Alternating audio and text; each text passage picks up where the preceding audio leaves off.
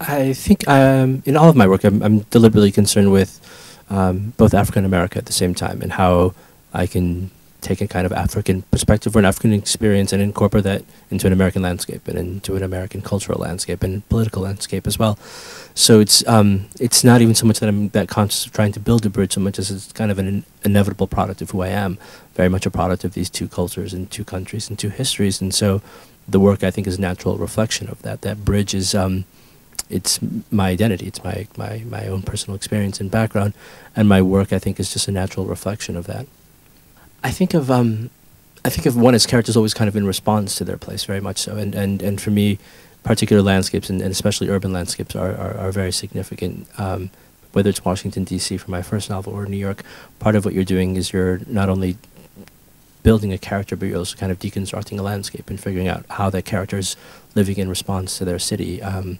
and in the case of Sudan, it's also a matter of not only a kind of port town, but also kind of the political landscape around that and how that also informs that character's identity and forms that character's past and history. And then translating that also as well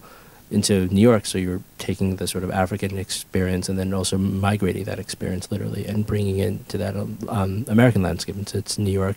or in my first book, if it's Washington, D.C. from Ethiopia, um, you're concerned with these two different urban landscapes or different landscapes and melting them together in a way.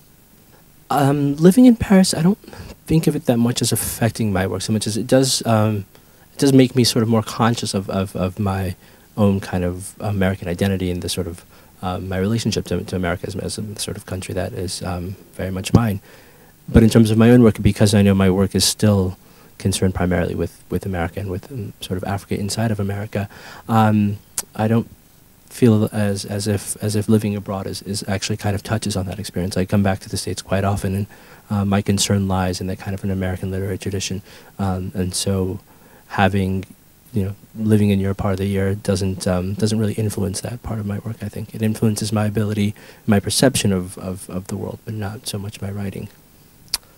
Um, it's only you know it's only two days into the visit, and I would you know I would say um, last night's event with with, with Manuel Rivas um, was was really remarkable because he's a sort of remarkable Spanish writer, um, and seeing the sort of great audience in very sort of small, beautiful town of Santiago de Compostela,